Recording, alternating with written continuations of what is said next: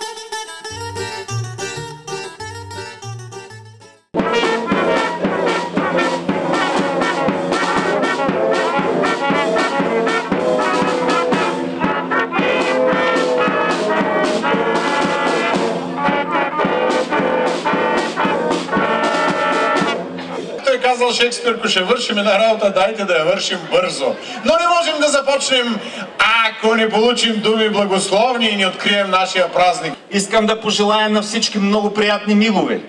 На ценителите да се насладят и да останат с приятни спомени, а на участващите в изложбата успех на добър час и на здраве.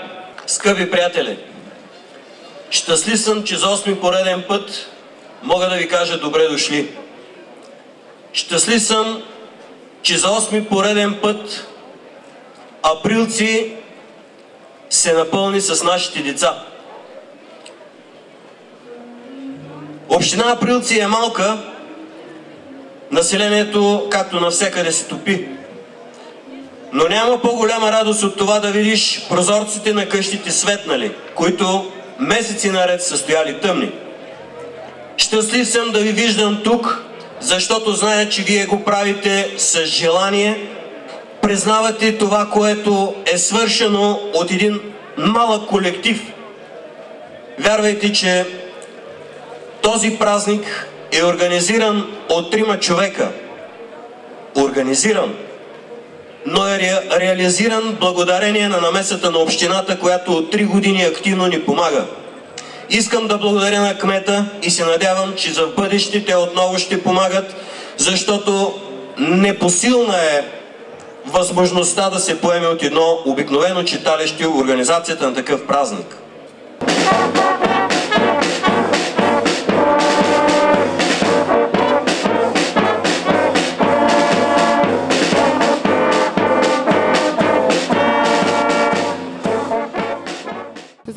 Казвам се Полина, на 18 години съм, уча в СОУ Василевски с специална паралелка ресторантьорство, която включва готварство, барманство и сервиране.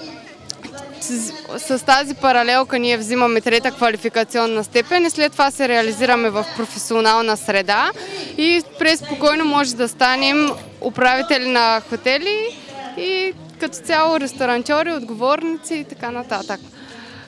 И твоите съученици тук сте подредили една много богата, един много богат штант. Били представила съучениците си и какво представяте днес тук? Да.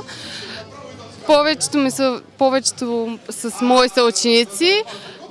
Един набор сме, заедно сме изработили всичкото това, което включва главно като съставки, праслук, сланина и в всички тези аламнути задължително е включена домашна сланина. Добре, да започнем. Тук има шишчета. Да. Тези шишчета са приготвени нанизано върху тях лук, червена и зелена чушка, сланина и така последователно също така и нанизани хляб. След това тук сме изработили прас с сланина като плънка за тази баница, картофен рулов с прас и сланина, отгоре с масло и кашкавал, гарнирано. А, там по-нататък виждаме лучници сме приготвили, питки с сланина, сладка баница с лукум и сланина за дегустация като разядка. Много е интересно, примерно картофеното руло с сланината. Трябва ли някаква предварителна подготовка на сланината? Малко я запържваме със самия прас лук до умекване, за да може после на хората да не е накъртваща, смисъл да има по-лекотен вкус. Картофите се настъргват, изчакваме ги, преди това разбира се се сваряват, изчакваме ги да изтинат, настъргваме ги, слагаме малко яйце, после прибавяме пунката от прасло кисланина. И след което го оформяме като картофено руло и го запичаме, после отгоре го намазваме с масло. И накрая с кашкавал да има по-приятен вкус за клиентите. Вие сте млади хора, и може би не е толкова популярно, обаче хапвате ли си често сланинка? О, да, задължително на нашите трапези в април присъства сланината, особено зимата е много традиционна с червено винце. И за много местни такива български рецепти също е много включена, като бол, плеща.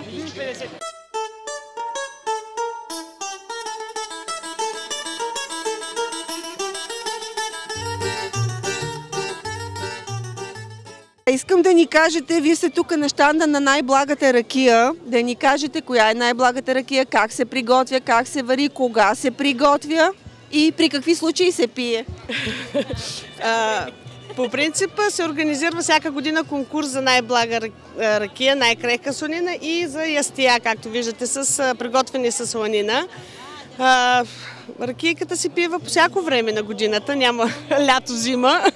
Винаги е пивка и добра. Приготвянето им е трудоемко, не е така лесно. Първо трябва да се съберат сочни и хубави плодове, след това се залагат каша, се казва. След това се приготвя ракията по традиция, както си е. И се пие в добра компания с добри хора. Тук на място ли си ги берете плодовете, отглеждате ли си ги? Разбира се, всичко е на място. Всеки се труди, отглежда си градинка с овошки. Какви плодове слагате? Най-благата от кои плодове слага? Ами от а, сочни плодове, независимо какви са. Може сливи, ябълки, круши. От всякакви става. А лекува ли благата ракия? Всяка ракийка в умерени количества е лековита.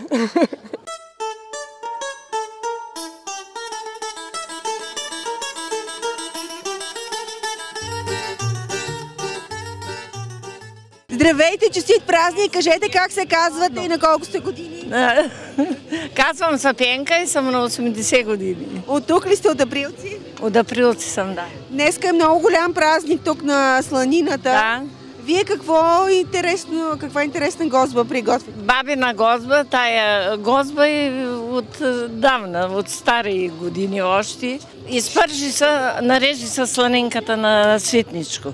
И се изпържи, и след това се махат пръшките, и след това е, кормит лук се слага и, и е прас лук.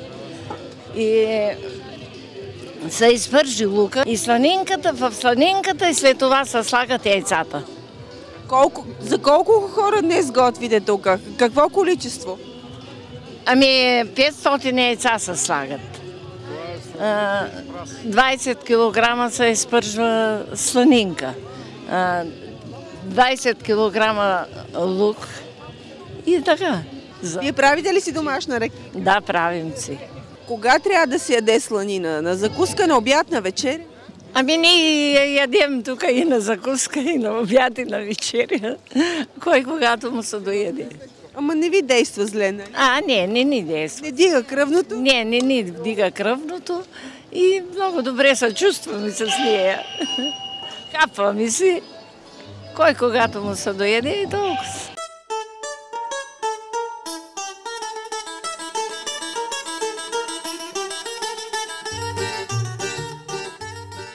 Здравейте, честит празник! Бихте ли се представили?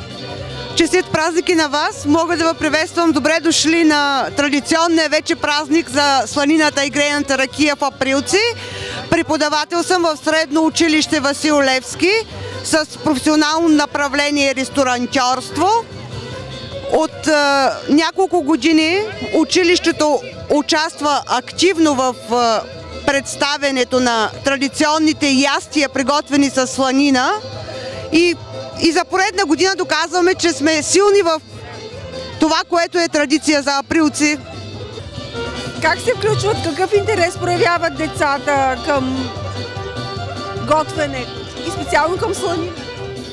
Вижте, мотивацията на децата зависи от преподавателите. А, от год... втора или трета година вече наистина успяваме да ги мотивираме, защото участието в такива празници е реклама за училището. И всеки, който смята, че професионалното образование е на втори план, мисля, че не е прав. И във всяко всяка една професионална паралелка децата получават необходимите знания умения не само в професията, но и в общообразователните предмети. Доказано е в годините. Участвали ли са децата на различни конкурси състезателни в тяхното направление? Да, Децата участват. Миналата година имаме първо място готвач на областното кулинарно състезание което се проведи в Летница. тази година нашето училище е домакин на 1 март на третото областно кулинарно състезание в професионално направление ресторантьорство, хотелиерство и кетеринг. В областта, в Оловешкия регион има 7 паралелки в това направление и вече става традиционно и, то, и това състезание за областта. Мисля, че е, ще имаме участие и на регионално състезание, организирано от Асоциацията на училищата по хотелиерство и ресторантярство. Март месец ни предстои едно пътуване до Австрия, където от години поддържаме връзка с училище с почти идентични професии като нашите и партньорството се продължава да се задълбочава благодарение на госпожа Красимира Димова, която е а, основателка и председател на фундация Априлци. Всяка година получаваме дарение от децата в Австрия, които организират българска вечер и томбула и средствата даряват на гимназията. Какво предстои друго до края на годината? До края на годината предстои силна рекламна кампания, за да съберем деца за следващата учебна година. А, професионалното направление, пак го повтарям, ресторантьорство, хотелиерство и кетеринг, нещо, което е традиционно за априлци и туризма е бъдещето на априлци. А, партньорството ни с хотелиерите и ресторантьорите е доста добро. Ми има още какво да се работи, но вече така с заговарянето за дуалното обучение те започват да са по-отворени към гимназията и да си сътрудничим в областта на... и предоставят реални работни места за учениците.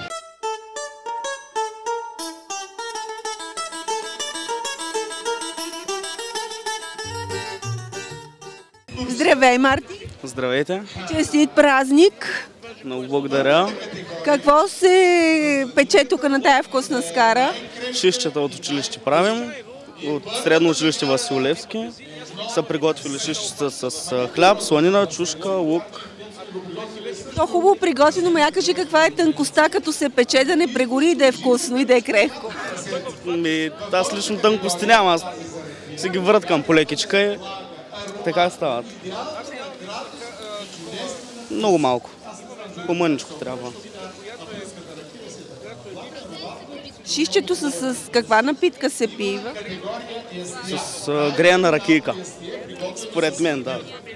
Ти пиваш ли греяна ракийка? Много обожавам. Обожаваш? По-малко. В България ли смяташ да се реализира? Да. В България. Защо? Защото тук съм роден. И мисля така да си остана. Не искам да съм емигрант в чужбина. Пожелавам ти успех. Много благодаря.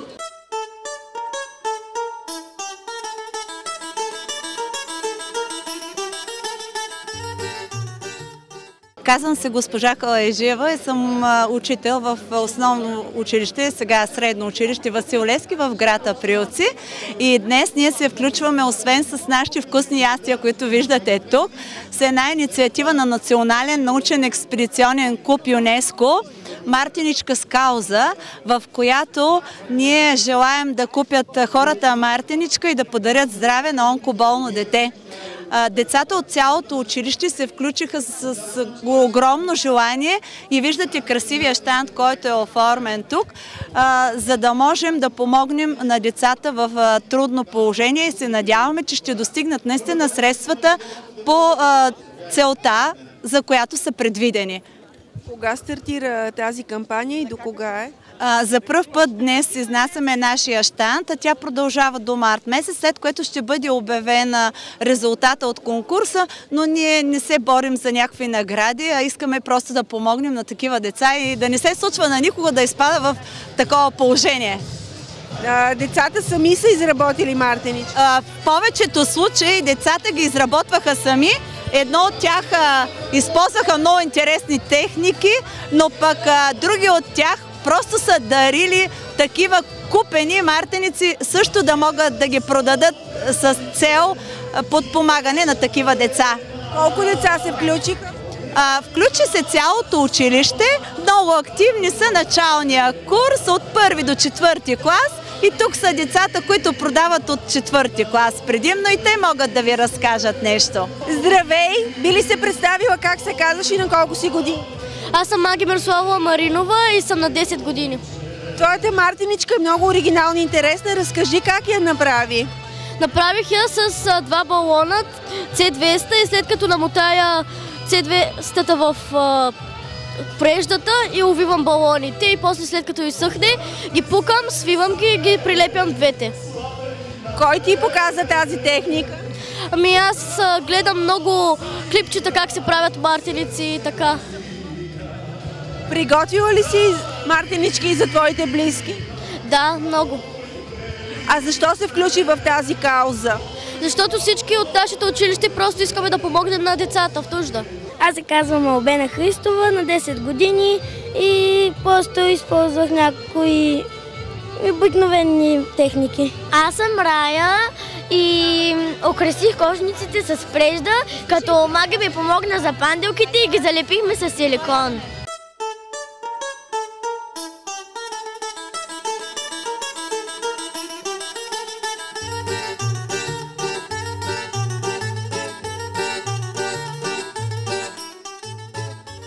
Честит празник! Бихте ли се представили за нашите зрители? Честит празник на всички! Казвам съм Николай Савов и съм от град Плевен. Вие а, участвате като председател на журито ли? Участвам от 6 години в журито, тази година съм председател.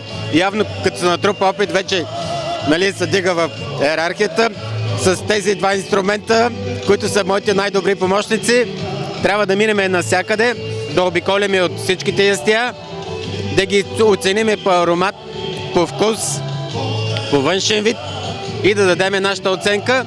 И всяка година а, просто се чуда на тези хора откъде намират тази фантазия като една сланина само, а всеки път намират по-нови възможности, по-нови вариации, нови комбинации и, и те се оказват невероятно вкусни. Изглеждате определено изненадани, четах. Всяка година съм все повече изненаден и викам си всичко знам, обаче винаги има нещо, което може да ме изненада от, отново. Как ще определите фаворита си? Ами фаворита вече се определя на база на опита, който го имаме и веднага се разбира коя сланинка е перфектната и направена добре и коя малко има малко допуски, пропуснато нещо. От прасето ли зависи вкуса на сланината или от начина на приготвянето?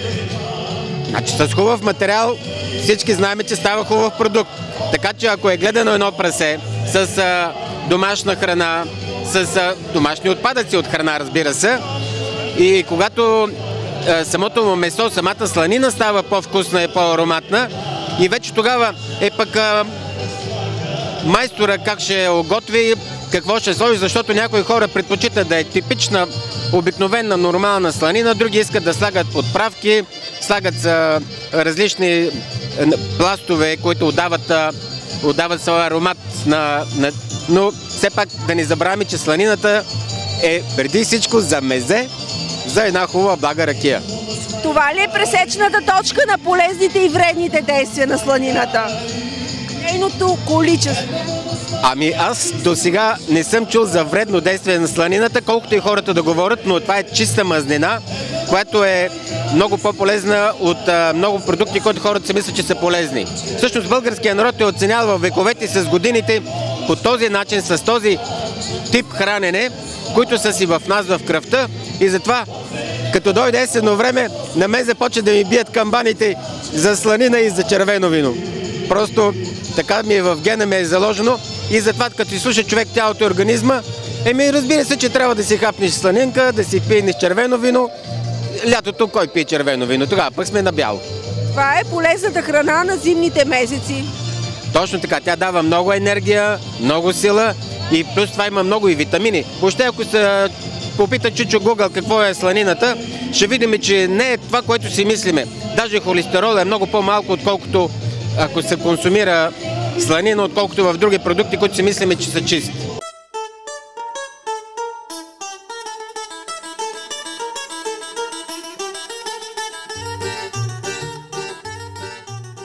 Добре сте дошли в община Априлци.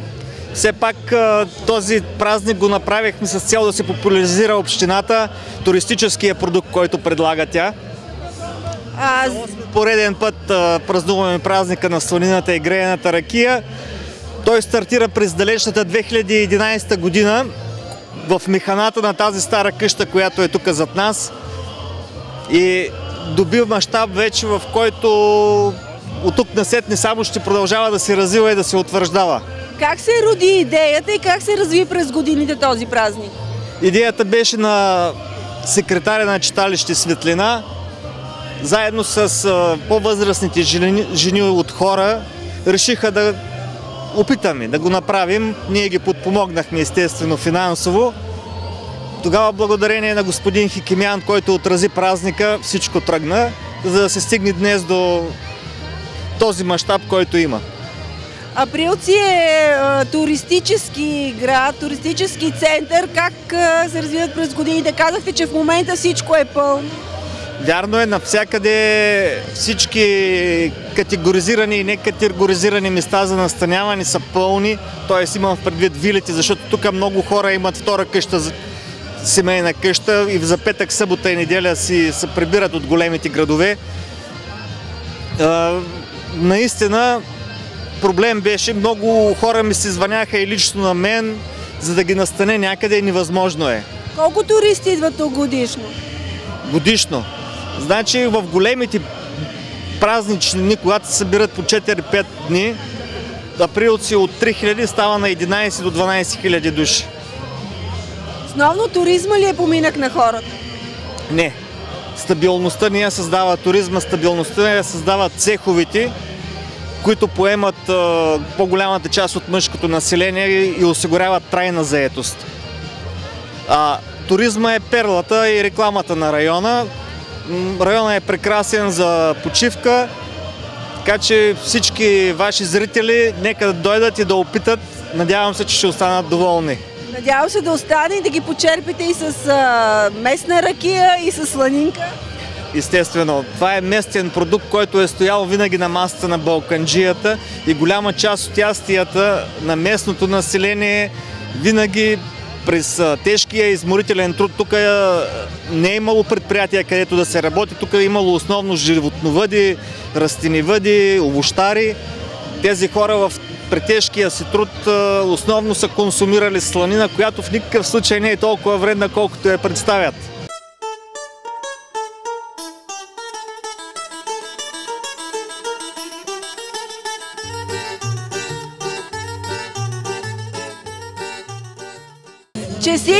Празник! Благодарим ви. Бихте ли се представили как се казва? Казвам се Цонка Михайлова Горненска. А, днес на вашия щанд има кулинарна изложба. Кулинарната изложба е направена от повечето от жените, които участват в, тук в самодейния хор. А, и някои жители, които са пожелали да участват и те, защото има нали, конкурс и награди. А, освен с сланина има и други ястия. Колко са участниците? Друга година е било повечето нали, само с сланина ядената, но после се добавиха и месени неща, и сладки, и други нали, неща. Ама повечето е направено с сланинка. Нали. Има и баница с сланина, има и панирана сланина, сърми с сланина. А по- и понеже днеска празник на сланината, да ни кажете няколко рецепти с сланина за нашите зрители. Интересни и тук местни. Ами рецептите това е. Повечето готвят боб, който, в който слагат сланинки, така пръшката, нали, изпържена сланинка, а, сърмички, в които пак слагат и от червеното месо, което се слага в кацата, там в, а, където е сланината, се слага и червено месо, за да стане по-вкусна и по с така розов цвят. И от него се слага в сърмичките, слага се и в боба, нали, просто бабите са измислили много неща. Най-традиционна е манджата, с която ще видите на големия казан. Тя е местна от много години, нали, нашите баби и дядовци са правили такава манджа, като отидат, нали, по къра да работят и прибират се вкъщи късно, и си изготвят тая манжа. Тя се прави от така, от сланинка на, нарязана на парченца, изпържена, маха се сланинката, слага се вътре лук, повече праси, червен лук и като се задуши да стане така хубав розов цвят, му се чукват яйца, много яйца и се прибавят пръшките от сланинката. Как се приготвя най-вкусната сланина? Ами най-вкусната сланина първо зависи от прасето, което са гледали. То се гледа с а, екологично чисти неща тук. Картоф, нашите хора сеят повече картоф, който се вари, тиквата също се вари и куприва. Това нещо му се прави като манджа. Също има и, му слагат и смляно царевица и смляно жито, смесено. И, и така се отглежда, а после вече самата сланина трябва, след като се заколи прасето, да отлежи една нож на големи парчета, нали, не на мънички парченца. И после се изкроява в а, бидонче или там, където ще се държи, се изкроява по самия бидон да няма никакво празно място. И се слага много сол. И морска, и обикновена сол, някъде 5 см на всяка снопа. И след десетина дни се прави саламура. И се залива вече сланината и се затиска, ако не е достатъчно хубаво притисната. Как се прави саламурата? Саламурата се прави от а, повече сол с вода, пробва се с едно яйце дали ще изплува и е готова. И после вече му се вади и се еде, така ли? Ми, хубаво е да постои поне 20 на дни, но старата сланина е по-хубава. Аз спечелих празника нали, на, на прасето живото с сланина от две години. нали, беше преди две години направена. Тя става крехка, но всяка година и се сменя солта и саламурата, за да стане такава крехка. Вие какво най-често си приготвяте с сланина у вас? Най-често си приготвям питки е, с сланинка. Това са тригунки, ето ги, ето ги тук. Кажете ни как рецептата. Ами тестото се меси както се меси за пита. С прясно мляко, с мая, малко няколко лъжички кисело мляко и олио няколко лъжички.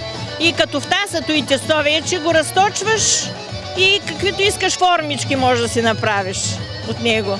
Може и като тутманик да го направиш и след това и си го печеш. За закуска и за вечеря е чудесно. А кога е най-полезно да се пие винце с а, сланинката? Сутрин на закуска или вечер? Абе най-добре е вечер, защото ако ходиш на работа, не е полезно да си, да си пил вино или ракийка. Ма ние тук сме любители на ракията, не толкова на виното. На местна почва си правят ракийка, а винци по-малко.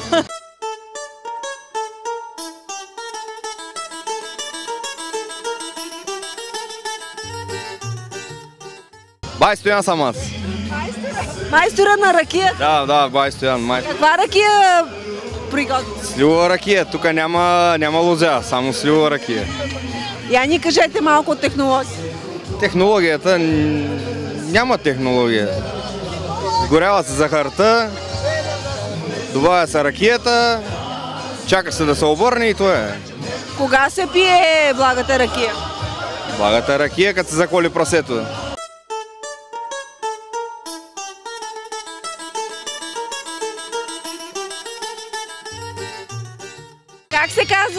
Лидия Кефирова. Може ли да ни разкажете за сланината, която представяте на вашия штанд? Сланината е произведена в априлци от собствени празенца. Прави се в каче, усолява се стабилно и как успявате да я съхраните при по-високи температури, както е сега? Няма студена зима. В принцип се съхранява в самото каче в студени помещение в мази. От колко години си правите така слани? Аз лично откакто се помня. Кога обичате да си я хапват? С всичко върви, най-вече с ракийка. А какво приготвяте с сланина, като ясти? може да се приготви боб в гарне, бабената гозба и други типични наженски асия.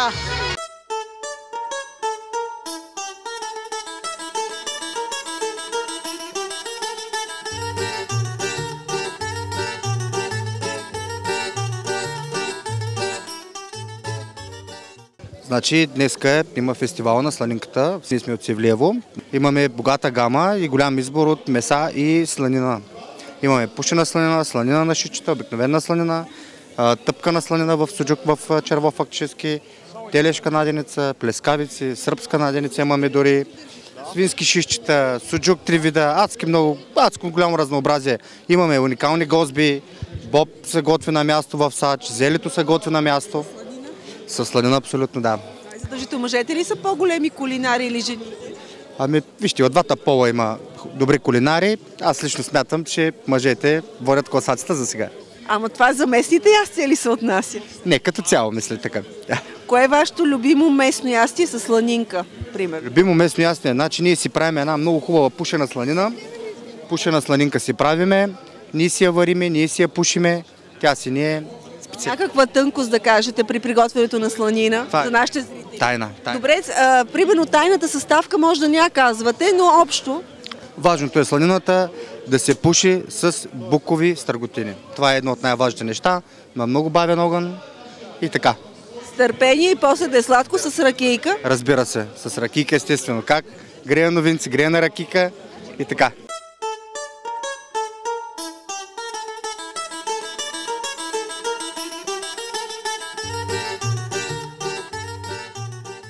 Здравейте, честит празник! Благодаря подобно. Бихте ли се представили за нашите зрители? Казвам се Дон Чупачников, председател на Народно читалище Светлина 1895 година. И директор на И директор на средно училище Васил Левски, град Априлци, което е, искам да се похваля, че е най-старото училище в област Лович. Основано е през 1812 година от двама монаси, така че това е нашата гордост. Преди 5-6 години празнувахме 200 годишнината. И от 1994 година създадохме СПТУ по туризъм. Миналата година се наложи двете училища, професионалната гимназия по туризъм и основното училище да бъдат обединени в едно средно училище Васил Левски, което дава професионална квалификация на учениците, трета професионална степен и фактически те могат да работят в заведенията за обществено хранене и развлечение като готвачи, сервитьори или бармани. Тази година решихме да се включим активно в организирането на празника. Имаме свой собствен штант и се радвам, че хората обръщат внимание на това, че все пак едно училище предлага такива продукти, които много се харесват на гостите на града и на празника. децата как приеха идеята да се включат по този начин? Децата по принцип е, обичат, но малко плахо трябва става, защото те все още нямат е, хъсът на ресторантьори, на хора от бранша, които така с по-голям ентусиазъм да приемат такива масови мероприятия, но ги виждам по реакцията, която имат в момента, че са много доволни. Разкажете ми малко и за читалищната дейност. Читалищната дейност в а, нашия квартал, специално в читалище Светлина, е разнообразна и многостранна. Имаме няколко състава, два танцови състава, един детски, един е, от жени, възрастни жени. Имаме хор, женски хор. В момента откриването на празника днеска беше реализирано с духова музика, която вече успяваме да реализираме благодарение на едно дарение на Красимира Димова, която от Австрия изпрати духови инструменти, дава малко средства, с които да можем да заплащаме на ръководителя на състава. От училище също отделяме някакви средства, но ще се опитаме по някакъв начин, тъй като бюджетът ни е много ограничен, да направим така, че този човек да можем да го осигурим поне на една минимална заплата, защото той наистина за два месеца успя да направи нещо много добро с децата и си заслужава да, да се бъде задържан в априлци. Имало ли преди духова музика? Възраждате ли традицията или сега те първа поставяте основите? Духова музика е имало, мога да ви кажа, може би преди 40 години.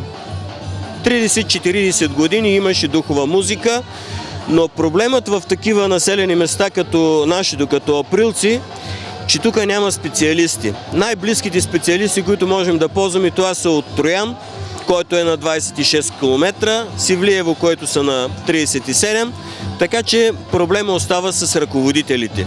И в тази връзка наистина се надявам и от подкрепата на общината да можем да издействаме някакви средства, с които този човек наистина да го задържим, защото той е ценен и преди всичко той работи с хъс и любов към децата.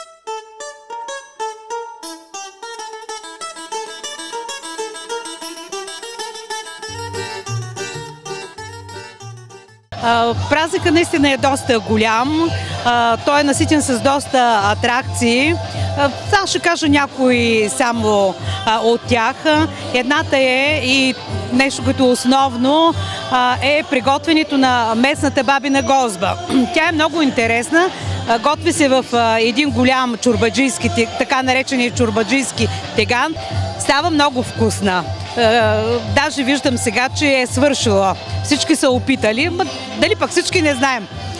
друга атракция беше е, подреждане на атрактивно блюдо с а, а, производи сланинка и а, а, саламчета, а, атрактивно мезе. А, в а, това състезание участваха няколко кметови като естествено нашия кмет Младен Пелов, кмета на Свещов Генчо Генчев, кмета на Велчево Владимир Станев и естествено една кметица, Русица се казва, на Драшкова поляна. Много интересно беше и хората така с интерес наблюдаваха това състезание. Кой спечели? Ами, нашия кмет. Така, друго атрактивно нещо, това са е, кулинарните изложби. Те са приготвени от местни ястия, задължително с сланина. Състезание за най-крехка сланина. Ще видим кой ще спечели наградата. Наградата е живо прасе. И какво още да кажем така по-накратко? С толкова най-блага ракия чакаме да видим кои са наградените и още други неща. Хората ще видят много хора, много песни.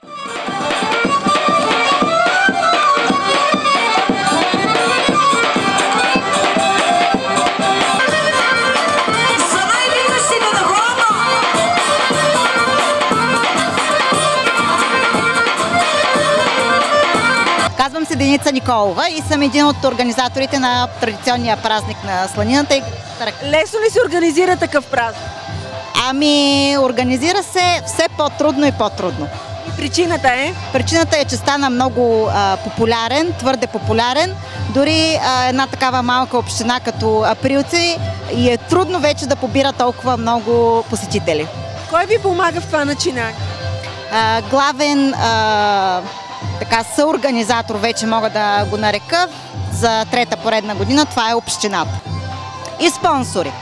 След това, когато мине празника, имате ли обратна връзка с участници и какво е настроението след това? Виждаме, че на празника всичко е окей, но след това? А, след празника, естествено, има а, така нашата а, част като организатори изобщо не е при, приключила. Следва едно почистване, едно отново разпределяне на задачи и така нататък. Но сега отзивите по принцип са положителни, естествено във всяко така начинание, във всяко мероприятие има и, и недоволни, но така се опитваме а, смятаме критиката за градивна и се опитваме с всяка следваща година тези недостатъци и грешки да, да ги поправяме.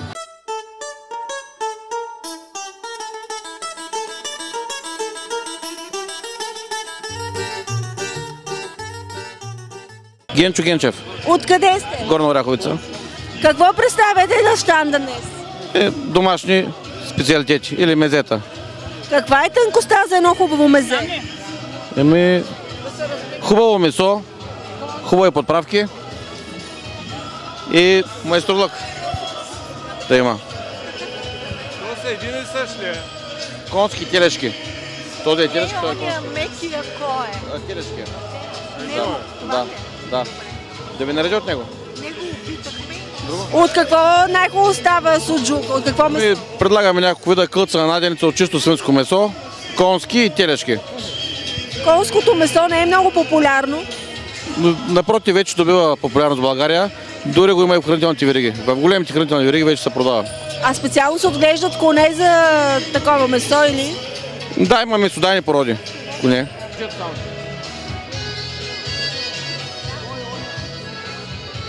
И за виното да ни кажете, и за виното. Виното е домашно, това е наложен пелин, наложен бял пелин с билки и плодове. А това е копажно мерло и маврут.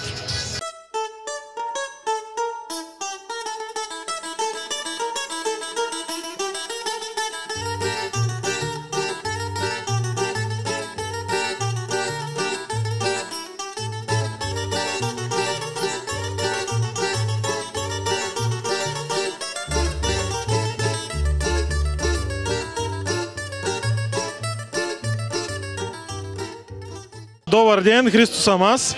Какво представяте на вашия щат? Нашия щант е изпълнен с а, домашен телешки суджук, а, домашни свински бузи и домашна кървавица. Как се приготвя домашната кървавица? Значи свинските бузи са паприковани с чесън, с черпипер и се изваряват и накрая последната процедура е пушенето на тях. Става много интересно, много вкусно, но нямам време много да говоря. А кой ви научи на това? Рецептата е от а, Австрия. В Виена в момента има човек, който 40 години я практикува.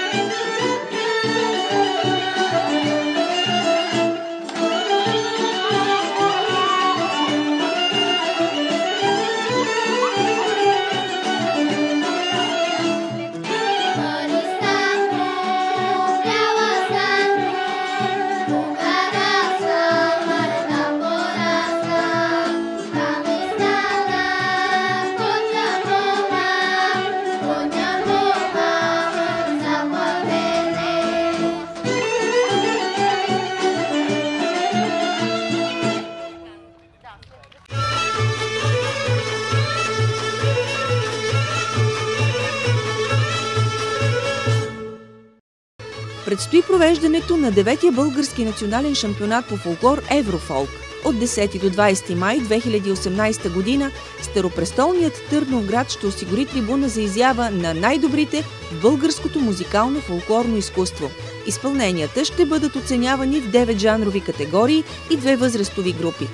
Националният чемпионат ще се проведе едновременно с 22-то издание на Старопланински събор Балкан Фолк и третото издание на Световната купа по фолклор Велико Търново. Заповядайте! Седми Балкански шампионат по фолклор Еврофолк Жива вода Хисария, България. 31 май, 4 юни 2018 година. Фолклорът на Балканите ще бъде представен от стотици творчески колективи, включени в конкурсната програма. Призьорите ще бъдат отличени с златни, сребърни и бронзови медали в 9 категории и две възрастови групи. Носителят на Гранд при Златен Орфей и званието Абсолютен балкански шампион по фолклор за 2018 ще получи и чек на стойност 1000 евро. Заповядайте! Международен фолклорен фестивал Еврофолк Черно море. 14-то издание на фестивала ще се проведе от 15 до 25 юни 2018 година в Царево и Китен, България. Организаторите очакват за участие хиляди радетели на святото дело за запазване и популяризиране на музикалното фолклорно изкуство. Високи отличия и телевизионна слава за най-добрите. Заповядайте! Образци от съкровищницата на европейския фолклор.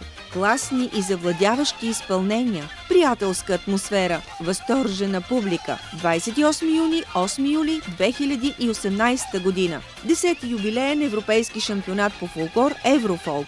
Домакини на форума Несебър, курортен комплекс Слънчев бряг, Бургас, Поморие, Свети Влас. Десетото издание на Европейския шампионат по фолклор Еврофолк ще се проведе под егидата на Европейската асоциация на фолклорните фестивали ЕАФ, официален партньор на ЮНЕСКО. Заповядайте!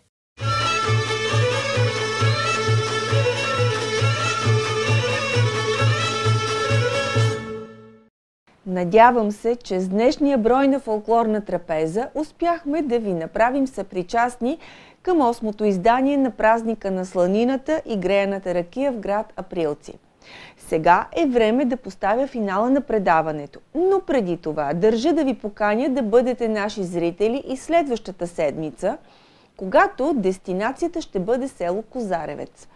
То се намира в рамките на община Лясковец. Екипът ни пътува до там, за да се уверим на място в кулинарните умения на жените от културния клуб на пенсионера в селото. Заснехме много местни рецепти, които нямаме търпение да ви ги покажем.